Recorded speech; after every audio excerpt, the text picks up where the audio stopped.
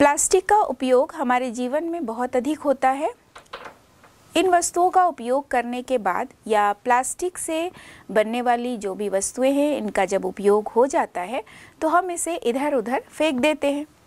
धीरे धीरे हम देखते हैं कि ये मिट्टी में फैलते जा रहे हैं और इसका अपघटन भी नहीं हो पाता है। तो इसके कारण पृथ्वी की जो या मिट्टी की जो उर्वरता है, वह खत्म होती जा रही है। जीव जंतु इसे ग्रहण करते हैं और उनके भी मृत्यु का ये कई जगह पर कारण भी बन रहा है। तो इसको नष्ट करना और इसे पुनः उपयोग के लायक बनाना बहुत अधिक आवश्यक है। तो जो अनुपयोगी प्लास्टिक की वस्तुएँ हैं, उनको उपयोगी उत्पादों में बदलना या इस पूरी प्रक्रिया को हम कहते हैं प्लास्टिक का पुनः चक्रण, जिससे हम प्लास्टिक की वस्तुओं को फिर से उपयोग हेतु बना सकें और उससे विभिन्न उपयोगी वस्तुओं का निर्माण कर सकें। इसके बाद हम देखते हैं कि सन 1988 में प्लास्टिक उद्योग संस्था के द्वारा प्लास्टिक उत्पाद की पहचान के लिए अलग अलग कोड दिए गए। अर्थात, जितने भी प्लास्टिक की वस्तुएँ हैं, उन सभी को वर्गों में बांटा गया, उनके लिए कोड दिया गया और इस आधार पर उसकी उपयोगिता को निर्धारित किया गया। तो प्लास्टिक का पुनः चक्रण करने से पहले प्लास्टिक उत्पादों को उनके पहचान के कोड के अनुसार अलग अलग उन्हें नाम दिया जाता है अलग अलग उन्हें कोड दिया जाता है और इन कोडों को हम सात समूहों में विभाजित करके पढ़ेंगे। सभी सात समूहों के अलग अलग नाम हैं। एक, दो, तीन, चार, पाँच छः सात इन्हें नाम, नंबर दिया गया है और इन नंबरों के आधार पर पहचान कोड दिया गया है। अब हम इन सभी अलग अलग कोड के बारे में विस्तार से समझेंगे और इसकी उपयोगिता को भी समझेंगे। सबसे पहले हम कोड जो प्लास्टिक को निर्धारित करने के लिए दिया गया, प्लास्टिक की पहचान को निर्धारित करने के लिए कोड दिया गया, इसे हम समझेंगे। तो सबसे पहले हम देखते हैं, एक जो नंबर दिया गया है, प्लास्टिक की पहचान के लिए कोड नंबर एक। ये जो कोड नंबर एक है, ये पॉलीएथिलीन टेरेप्थेलेट है, या जिसे हम पीईटी e के नाम से भी जानते हैं। और प्रायः ये देखा गया है कि एक नंबर कोड वाले जो प्लास्टिक हैं, इसका उपयोग पानी की बोतल में, जो शीतल पेय हैं, उनके जो बोतल होते हैं उसमें, और जैम, जेली, इनके जो जार होते हैं, जो हमें मार्केट में उपलब्ध होते हैं, इन्हें बनाने के लिए जिन प्लास्टिक का उपयोग किया जाता है, वह पॉलीएथिलीन टेरेप्थेलेट होता है या जिसे हम पीईटी e कहते हैं। इसके बाद प्लास्टिक का नंबर दो कोड है। इसे एच e या हाई डेंसिटी पॉलीएथिलीन भी कहते हैं। उच्च घनत्व पॉलीएथिलीन ये कोड जो है, वो नंबर दो कोड है प्लास्टिक के लिए। इस जो नंबर दो कोड वाले जो भी प्लास्टिक होते हैं, इनका उपयोग पानी की पाइपलाइन बनाने में, बच्चों के खिलौने बनाने में, जूस हेतु जो बॉटल उपयोग में लाए जाते हैं उसको बनाने में, साथ ही शैम्पू, क्रीम, इन सब के जो बॉटल होते हैं उसे बनाने के लिए नंबर दो जो प्लास्टिक कोड है, इस तरह की वस्तुओं का उपयोग किया जाता है। इसके बाद है, प्लास्टिक की पहचान हेतु कोड नंबर तीन जो दिया गया है। ये जो कोड नंबर तीन है, ये कहा जाता है पीवीसी यानी पॉलीविनाइल क्लोराइड इस तरह का जो प्लास्टिक है, वो कहा जाता है। नंबर तीन इसका कोड दिया गया है। पीवीसी पाइप बनाने में इसका उपयोग करते हैं जूस बॉटल वगैरह में, या कई सारे ऐसे जो सिरप वगैरह के बॉटल होते हैं, उसमें भी इसका उपयोग किया जाता है। इसके बाद हम देखते हैं कोड नंबर चार। कोड नंबर चार जो है, वह एलडीपीई है। जैसा हमने देखा कोड नंबर दो एच e है हाई डेंसिटी पॉलीएथिलीन तो कोड चार जो है वो एल e के लिए दिया गया, यानी लो डेंसिटी पॉलीएथिलीन निम्न घनत्व पॉलीथीन तो जो निम्न घनत्व पॉलीथीन दिया गया है नंबर चार प्लास्टिक के लिए तो इसका जो उपयोग है वो प्लास्टिक रैपर में. बहुत सारे ऐसे सॉस के बॉटल होते हैं, इनमें इसका उपयोग किया जाता है. इसके बाद है प्लास्टिक पहचान कोड नंबर पाँच।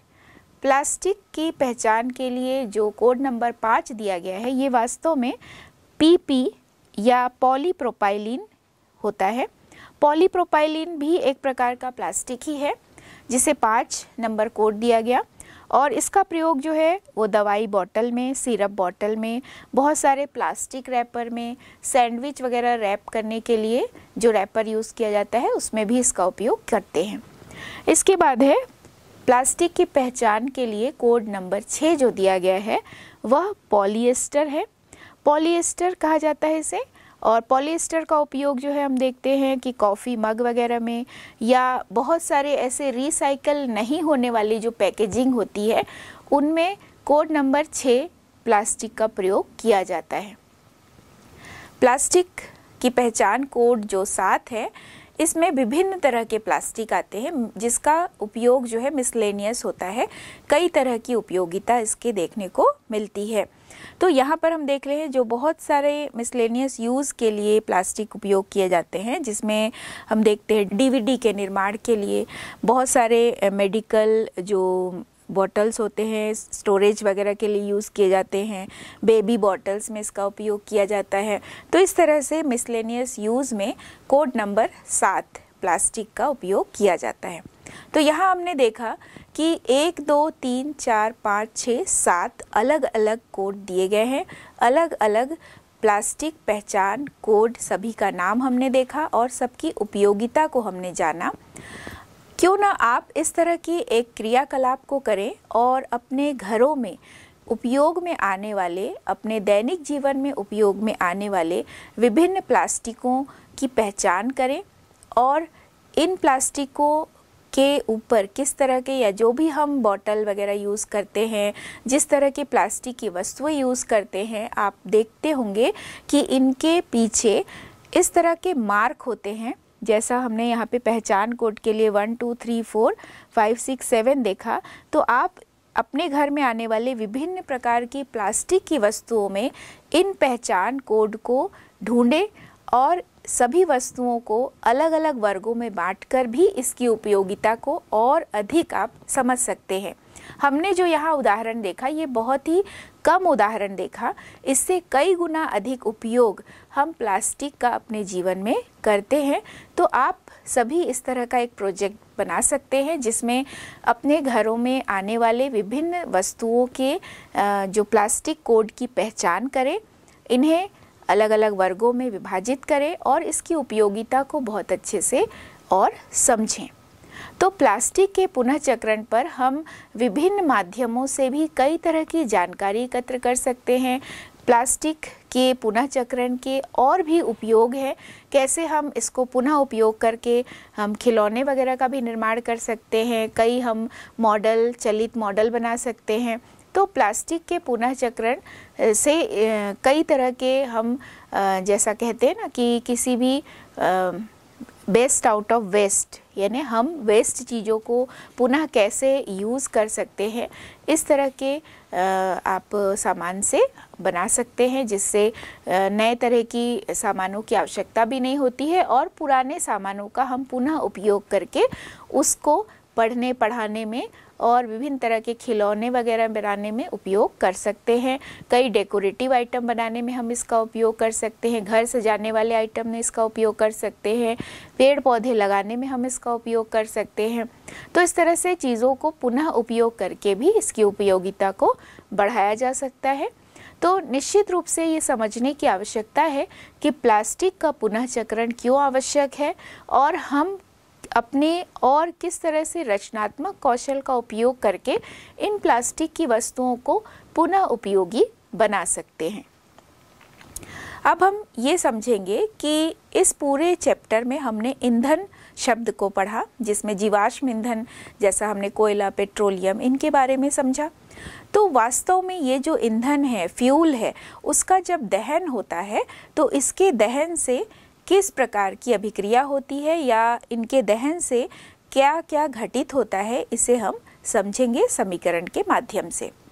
तो हम सभी ये जानते हैं कि जब भी कोई वस्तु जलती है तो उसको जलने के लिए ऑक्सीजन की आवश्यकता होती है और ऑक्सीजन की उपस्थिति में वस्तु का जो जलना है, वो दहन या कम्बशन कहलाता है। और हम ये भी जानते हैं कि दहन की प्रक्रिया में ऊष्मा निकलती है तो निश्चित रूप से दहन की जो प्रक्रिया है, वह ऊष्मा छेपी अभिक्रिया है, जिसे हम एक्सोथर्मिक रिएक्शन भी कहते हैं। जैसा यहाँ पर हम एक उदाहरण लेते हैं, कोयले का दहन। तो कोयले का जब दहन होता है तो मुख्य रूप से यहाँ पे देखने को मिलता है कि कार्बन डाइऑक्साइड बनता है और ऊष्मा उत्पन्न होती है। तो इसके समीकरण को हम लिख सकते हैं, C plus O two is equal to C O two carbon dioxide plus ऊष्मा, यानी ऊष्मा उत्पन्न होती है। यदि हम ये देखें कि कोयले का दहन जो है वो आंशिक मात्रा में होता है, पूर्ण रूप से नहीं हो पाता है तो इस रिएक्शन में कार्बन मोनोऑक्साइड प्राप्त होता है। जब पूर्ण रूप से दहन होता है तो कार्बन डाइऑक्साइड प्राप्त होता है, और जब आंशिक रूप से दहन होता है तो यहाँ पर हम देखते हैं कार्बन मोनोऑक्साइड प्राप्त होता है। तो इसके समीकरण को हम ऐसे लिख सकते हैं सी यानी carbon O two is equal to C O carbon monoxide plus ऊष्मा यानी यहाँ भी हम देख रहे हैं कि ऊष्मा उत्पन्न हो रही है, यह भी एक ऊष्मा छेपी अभिक्रिया होती है। अब जब हम ये देखते हैं कि कोयले का दहन हो रहा है तो कोयले के दहन के पश्चात जो अवशेष बचता है, उसे हम कहते हैं राख। तो ईंधन के दहन से जो कार्बन डाइऑक्साइड बना कार्बन मोनोऑक्साइड बना, और साथ साथ में दहन के बाद जो अवशेष बना, वो राख होता है।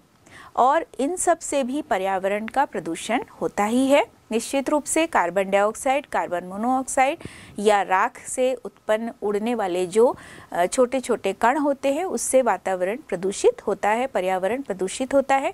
तो निश्चित रूप से इससे बचने के उपाय भी हमें ढूंढना चाहिए। तो अब हम ये जानेंगे कि वास्तव में जीवाश्म ईंधन के बढ़ते उपयोग का हमारे पर्यावरण पर क्या प्रभाव पड़ता है?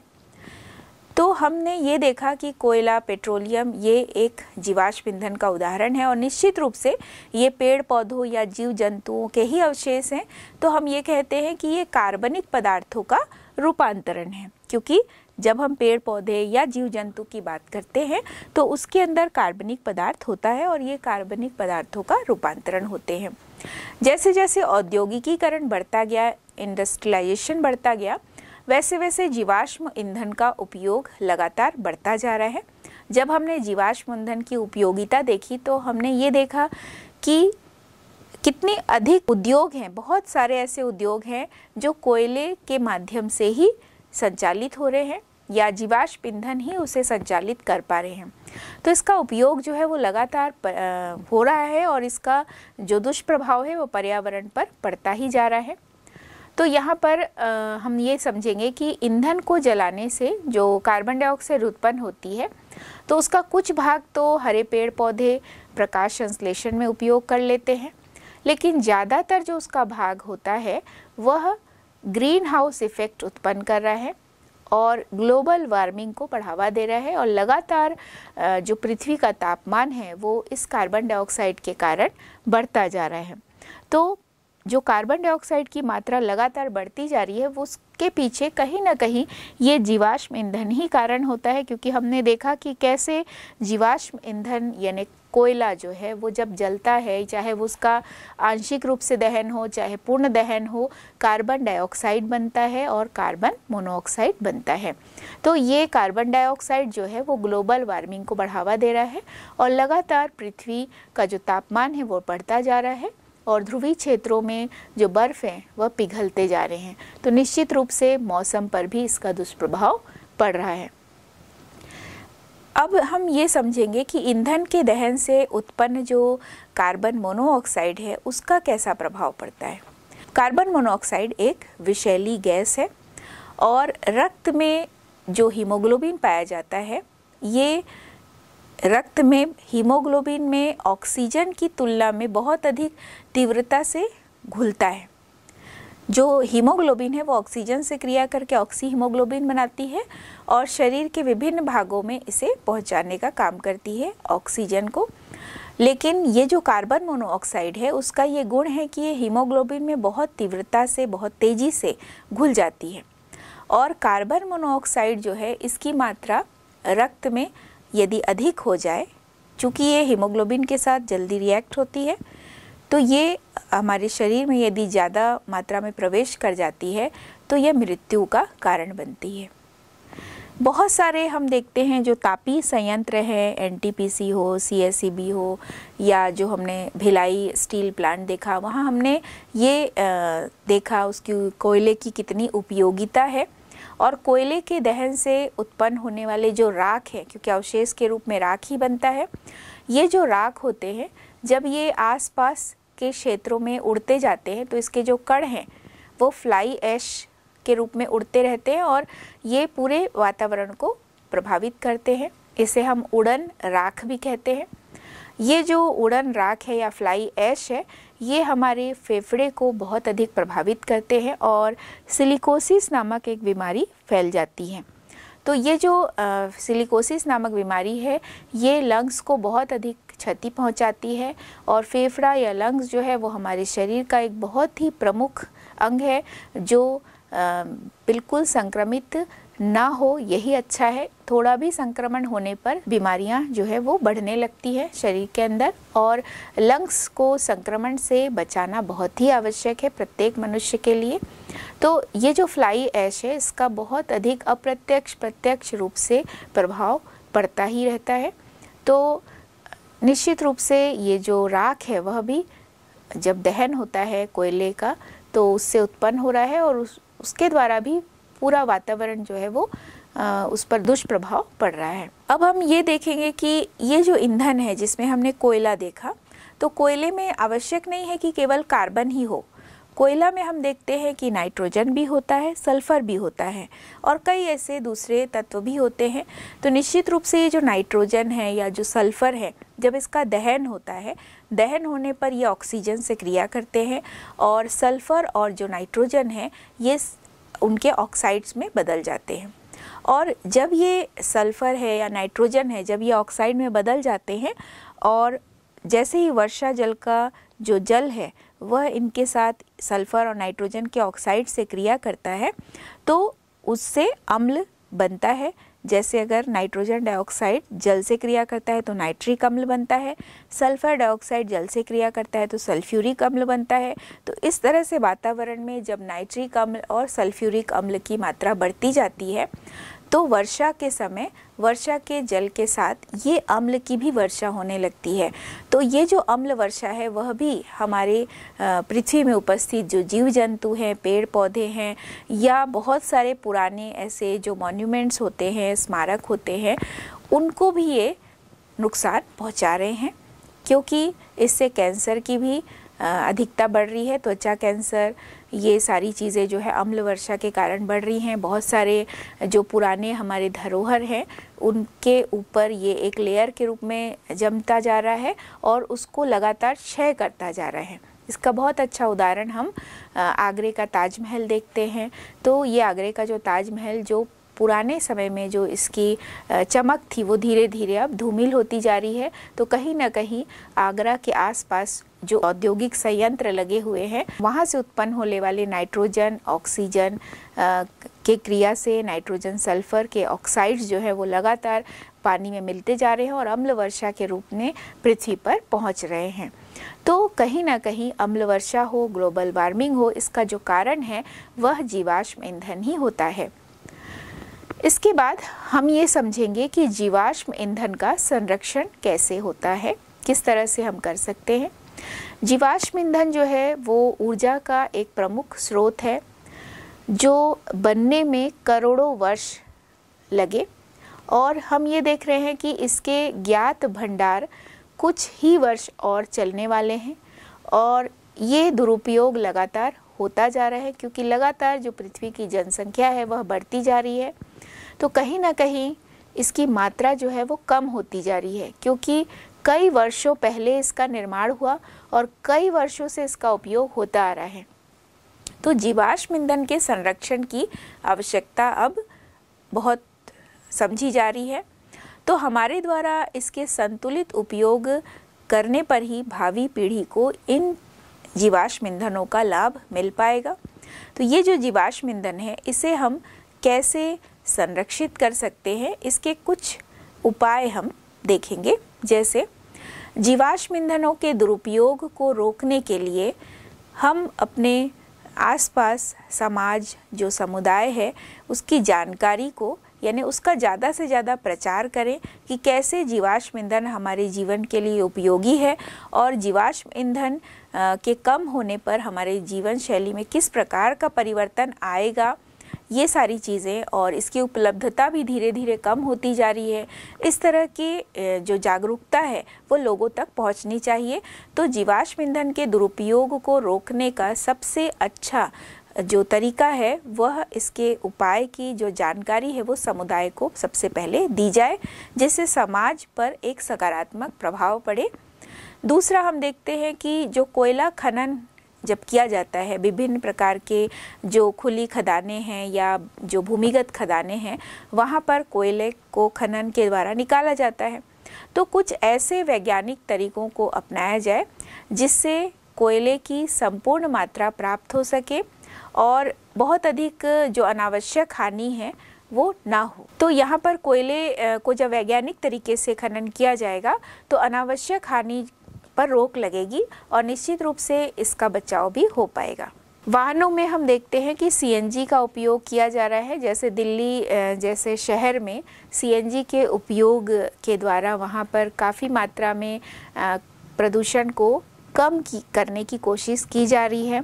तो विभिन्न शहरों में भी सीएनजी के उपयोग की प्राथमिकता को बढ़ानी चाहिए और जो सीएनजी होता है, जिसे हम कंप्रेस्ड नेचुरल गैस कहते हैं और इसमें नाइट्रोजन और सल्फ़र जो है वो नहीं पाया जाता है। तो कहीं ना कहीं नाइट्रोजन सल्फ़र की मात्रा को घटा दिया गया। तो सल्फ़र और नाइट्रोजन से बनने वाले जो अम्ल है नाइट्रिक अम्ल और सल्फ्यूरिक अम्ल, उसकी अम्ल वर्षा में जो मिश्रण है, वो भी कम होता जाएगा। तो सीएनजी के उपयोग को बढ़ाना चाहिए और इसके लिए भी लोगों में जागरूकता आनी चाहिए। प्लास्टिक का जो उपयोग है, उसे सीमित करें, क्योंकि प्लास्टिक का हमने देखा कि बहुत अधिक दुष्प्रभाव भी है, क्योंकि कई बार जीव जंतु इसे ग्रहण कर लेते हैं और निगल लेते हैं, पचा नहीं पाते हैं तो उनकी मृत्यु भी हो जाती है। प्लास्टिक के दहन से, प्लास्टिक को जब जलाया जाता है तो बहुत सारे जो जहरीली विषैली गैसें हैं वो वातावरण में मिश्रित होती है और विभिन्न प्रकार के फेफड़े संबंधी बीमारियों को ये फैलाती हैं। तो प्लास्टिक के उपयोग को भी हमें थोड़ा सीमित करना चाहिए। तो धीरे धीरे जागरूकता अब हमें लाना होगा क्योंकि ये जो आ, हम पढ़ रहे हैं निश्चित रूप से हम भावी पीढ़ी को जीवाश्म ईंधन का लाभ देना चाह रहे हैं और अभी से यदि हम इसे, इस तरह की जागरूकता यदि हम अभी से लाएँगे तो निश्चित रूप से जीवाश्म ईंधन के सही उपयोगिता को हम समझ पाएँगे। अगला हम देखते हैं कैसे हम इसके उपयोग को सीमित कर सकते हैं। पेट्रोलियम उत्पादों की जो खपत है, जैसे पेट्रोल है, डीजल है तो इसके उपयोगिता को, इसकी खपत को हम कम करने के लिए वाहनों का अच्छे से रख रखाव करें।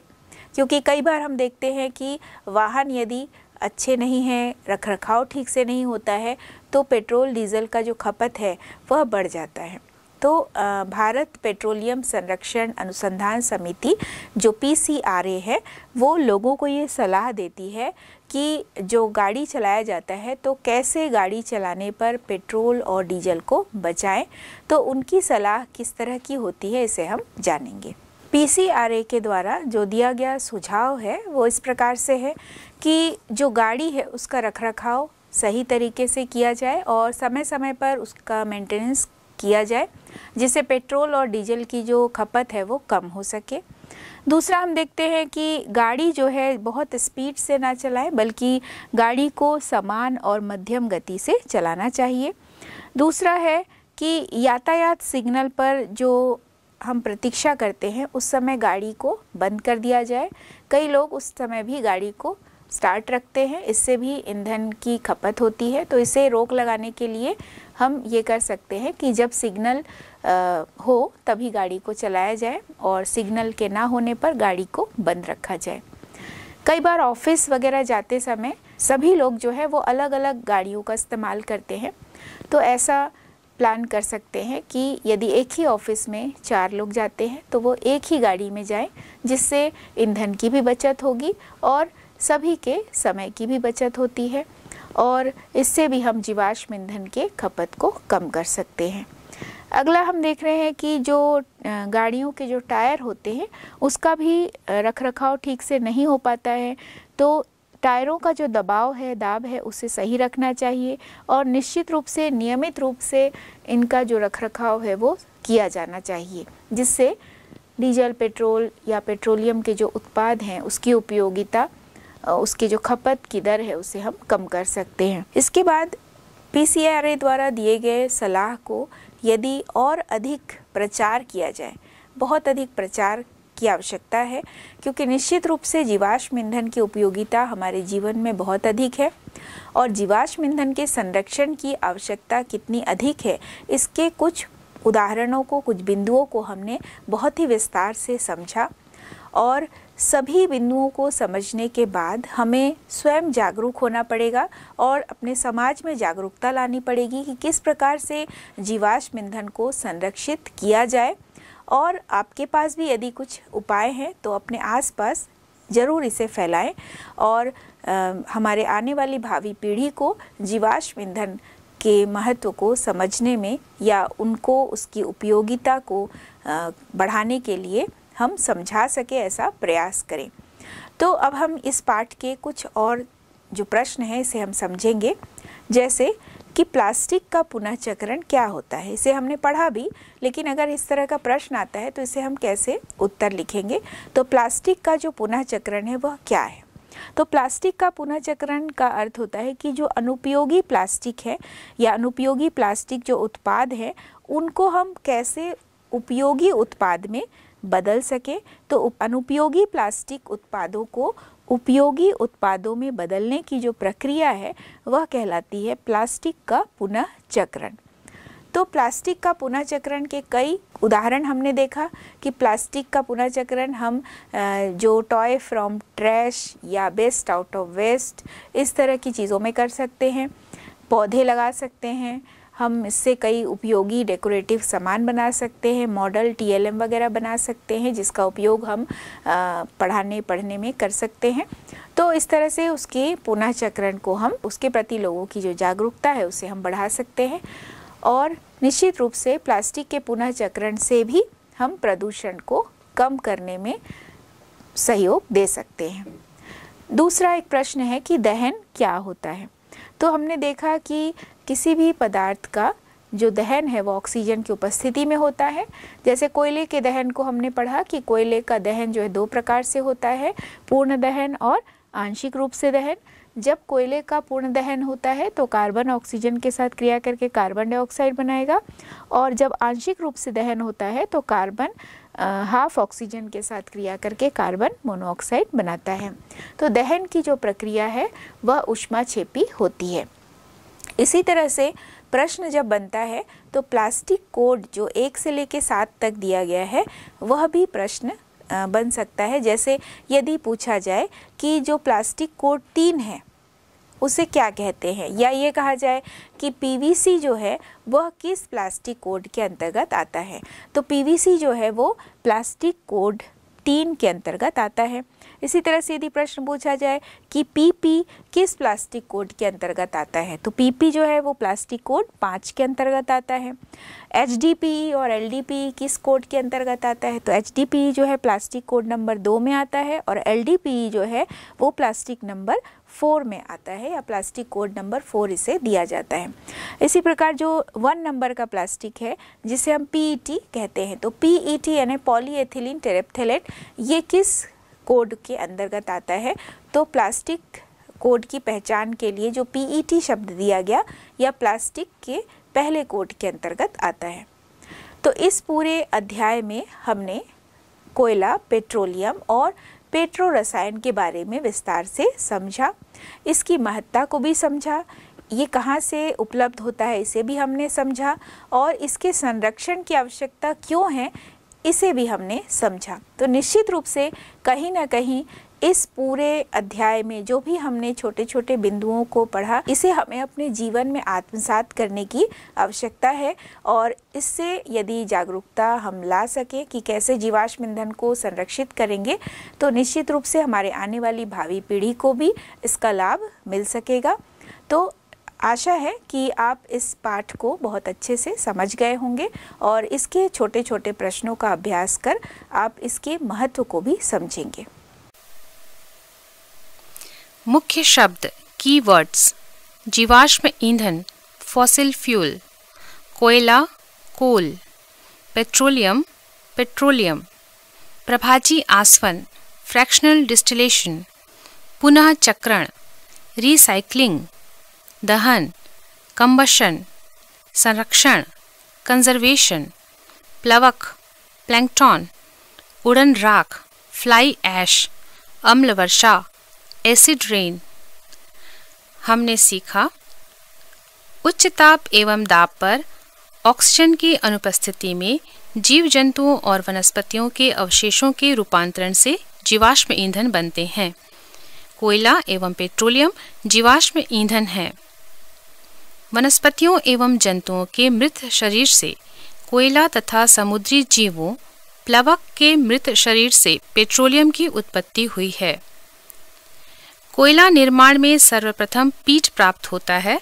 सबसे उत्तम कोयला एंथ्रासाइट होता है। व्यावसायिक उपयोग की दृष्टि से कोयले के ग्रेड उनकी उष्मीय क्षमता के आधार पर दिए जाते हैं।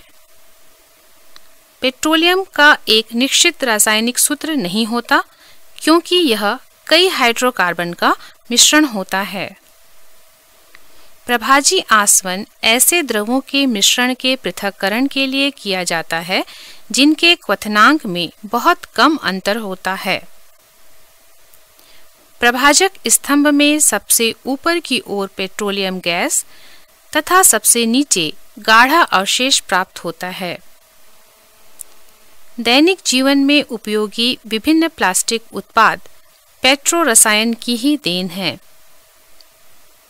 अनुपयोगी प्लास्टिक उत्पादों को उपयोगी उत्पादों में बदलने की प्रक्रिया को प्लास्टिक का पुनः चक्रण कहते हैं।